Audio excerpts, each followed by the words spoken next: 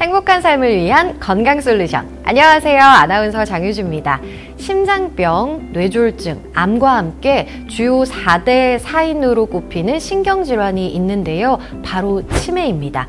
오늘 이 치매에 관해 교수님 모시고 함께 이야기 나눠보도록 하겠습니다. 안녕하세요. 안녕하세요. 영남대학교 병원 정신건강의학과 교수 김혜금입니다. 이 치매라는 질병 어떤 질병인가요? 치매는 우리 뇌 안에 여러 가지 기질적인 문제로 기억력을 포함한 인지 기능이 떨어지고 또 일상 기능이 떨어지는 그런 질환입니다. 알츠하이머 네. 치매가 가장 흔하고 두 번째로 이제 혈관성 치매, 또 파킨슨 증상이 동반되는 치매가 있습니다. 또 조금 드물지만 전두축두엽 치매라고 해서 행동장애가 좀 더 빨리 나오는 그런 치매도 있습니다. 그럼 이게 기억력이 좀 평소와 달라진다면 치매를 의심해봐도 될까요? 보통 65세 이상 노년기가 되면 모든 분들이 건망증을 경험합니다. 알츠하이머 치매 같은 치매에서 초기 증상으로도 기억력 저하가 나타나기 때문에 심한 정도를 좀더 정확하게 인지기능 검사를 한번 받아보시는 게 필요할 수 있을 것 같고요. 어, 사물의 이름을 잘 이렇게 이름을 말하지 못하시거나 아니면 늘 다니는 길인데도 길을 헷갈리거나 그런 시공간 감각 기능, 그 다음에 방향 감각이 떨어지는 다른 인지 기능에 문제가 있으면 검사를 꼭 해보실 필요가 있고요. 치매는 연령이 증가하면서 이제 발병률이 비례해서 증가가 됩니다. 네. 그래서 60대에는 1, 2% 정도의 발병률로 음. 보고되어 있는데 90대 이상은 거의 50%라고 합니다. 근데 혹시라도 제가 지금 좀 걱정이 돼서 그런데 젊은 나이에 이 치매가 걸리는 분들도 계시는 거죠? 흔하진 않지만 65세 이전에 젊은 연령층에서 발생하는 조발성 치매가 예, 발생할 수 있습니다. 뭐 전체 치매로 보면 5에서 10% 정도로 예, 비율이 많지는 않고요. 근데 최근에 조금 그 발병률이 조금 늘어나고 있다고 합니다. 근데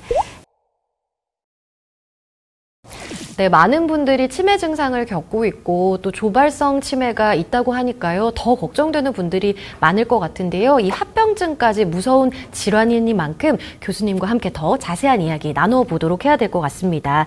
우리 김혜금 교수님과 함께 치매에 대한 오해와 궁금증 파헤쳐 보는 시간 마련했는데요. 교수님 준비되셨나요? 네, 준비됐습니다. 그럼 같이 한번 외쳐볼까요? Yes or no? 네, 이제 이 질문 키워드가 들어간 어, 상자가 들어왔는데요. 키워드를 한번 뽑아보도록 하겠습니다. 증상과 관련된 키워드입니다. 치매 증상은 갑자기 발생하거나 악화가 될 수 있다. 하나, 둘, 셋. 일단은 X입니다. 아, 혈관성 치매 아까 말씀드렸는데 네네. 뇌혈관이 갑자기 막히거나 터지거나 하는 혈관성 치매는 혈관의 문제로 인해서 조금 갑자기 일어날 수가 있습니다. 그 이외에 대부분의 퇴행성 치매들은 갑자기 발생하지는 않고요. 서서히 진행이 네. 되고 악화도 급격한 악화보다는 서서히 이렇게 진행이 되는 양상입니다. 이제 병원에서 많은 또 환자 보호자분들 여쭤보시는 것 중에 선망을 말씀을 음, 많이 네. 하세요. 네. 이제 몸의 기능이 떨어지니까 뇌의 기능이 떨어져서 일시적으로 나타나는 현상입니다. 그래서 음. 몸이 회복이 되면 다시 회복되는 치매랑은 다른 상태로 호전되는 예예. 예. 그래서 선망과 치매는 조금 구분을 하실 필요가 있을 것 같습니다. 그럼 제가 또 다음 키워드를 한번 뽑아보도록 하겠습니다. 위험 인자에 관련된 키워드입니다. 화병도 치매의 위험 인자가 될 수 있다. 하나, 둘, 셋. 네, 맞습니다. 네. 어, 화병이나 우울증처럼 지속적으로 이렇게 스트레스 상태가 유지가 되면 네. 스트레스 호르몬이 계속 높아지게 됩니다. 그런데 그런 스트레스 호르몬은 우리 뇌세포에 굉장히 치명적입니다. 화병이나 우울증이나 그 이외에 정신과적인 또 힘든 부분이 있으시다면 꼭 치료를 받으셔야지 또 치매 위험이 좀 더 줄어들고 네. 예. 어, 지금 이렇게 시원하게 쭉쭉 답변을 해주시니까 궁금증이 해소가 되는 것 같아요. 이번 키워드는 오해입니다. 치매 환자가 실수를 하면 바로 지적하고 잡아주는 것이 좋다. OX 하나 둘 셋. X입니다. X예요? 네. 보호자분들께서는 조금 인지를 조금 훈련시켜 주시는 네. 좋은 마음이실 것 같긴 합니다. 하지만 일거수일투족 지적이 되고 직면을 하고 교정하려고 하면 또 굉장히 가족 내 갈등이 많이 생기십니다. 어, 인지 훈련은 일상에서 하셔야 됩니다. 조금 이렇게 비난식으로 말씀하시는 것은 가급적 안 해주시면 좋을 것 같습니다. 제가 그러면 또 하나 뽑아보도록 하겠습니다. 마지막 키워드는 예방입니다. 치매에 있어 가장 중요한 것은 예방이다. 하나, 둘, 셋.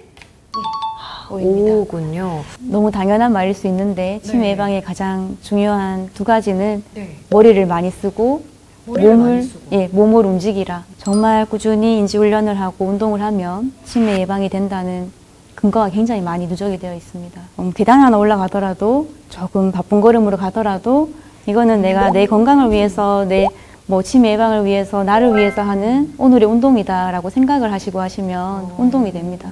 심장이 조금 뛸 정도의 강도로 하루에 20분 이상, 주 3회 이상을 꾸준히 하시면 예, 이 정도는 이제 치매 예방에 굉장히 좋은 운동으로 되어 있습니다. 그렇군요.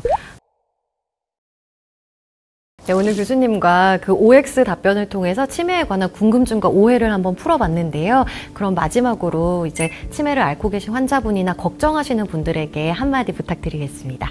많은 분들께서 정말 치매에 대한 막연한 불안을 많이 가지고 계신 것 같습니다. 조금씩 인지적인 어려움이 있으신데도 조금 병원에 가시기를 두려워하시고 꺼려하시는 분도 있는 것 같아요. 어, 그런데 일단은 정확하게 한 번은 이제 진단을 받으시면 이제 조기에 진단이 되면 충분히 또 진행을 늦을 수 있는 치료도 있기 때문에 너무 걱정하지 마시고 병원에 오셔서 한번 정확하게 진단을 한번 받아보시는 게 어떨까 생각이 듭니다. 네. 마냥 무섭게만 느껴졌던 치매, 오늘 이 시간을 통해서 두려움과 궁금증이 많이 사라지셨길, 해소되셨기를 바라면서 행복한 삶을 위한 건강 솔루션, 저희는 다음 이 시간에 또 유익한 정보로 돌아오도록 하겠습니다. 고맙습니다.